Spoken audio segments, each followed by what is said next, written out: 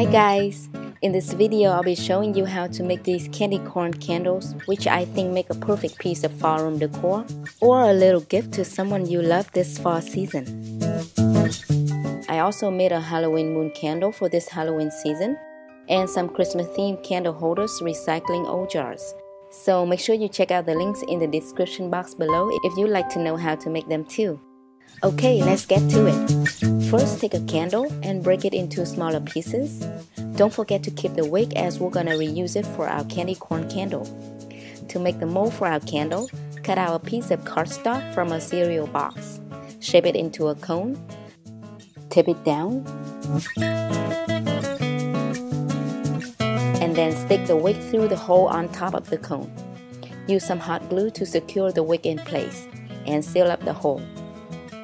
Now take a piece of candle and put it in a small bowl. Use the double boiler method to melt the wax. Then pour it into the cone.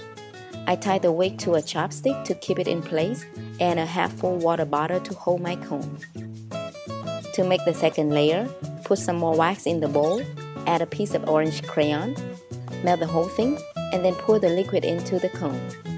Make sure the first layer is completely hardened before you pour in the second layer. For the yellow layer, take a piece of candle wax, add a piece of yellow crayon, melt it, and then pour it into a cone. Let it sit to cool down completely. It's very hot where I live so I had to wait for 3 hours. Once the wax has hardened, snip off the excess wick, remove the cardstock mold, and your candy corn candle is complete. I hope you enjoyed this video and will try this idea out. Please give this video a thumbs up and subscribe to my channel if you found this tutorial helpful and would like to see more videos like this.